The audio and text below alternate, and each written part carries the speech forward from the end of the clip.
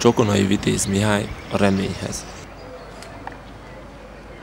Földiekkel játszó égi tünemény, Istenségnek látszó csalfa, vak remény, Ki teremtett magának a boldogtalan, s mint védangyalának bókoluntalan. Sima száddal mit kecsegtetsz? Miért nevetsz felém?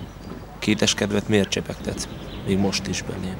Csak maradj magadnak, bíztatom velá.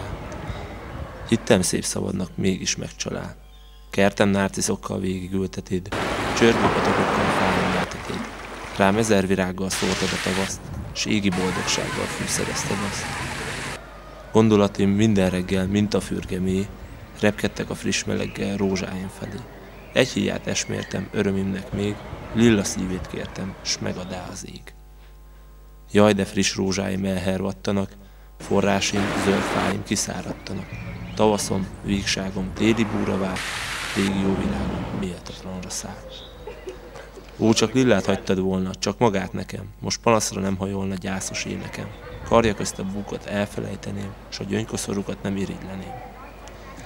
Hagyj el, ó reménység, hagyj el engemet, mert ez a keménység úgy is eltemet. Érzem, e kétségbe volt erőm elhágy, fáradt lelkem égbe, testem földbe vágy. Nékem már a rét hímetlen, a mező kisül, az engőliget kietlen, a nap éredőt.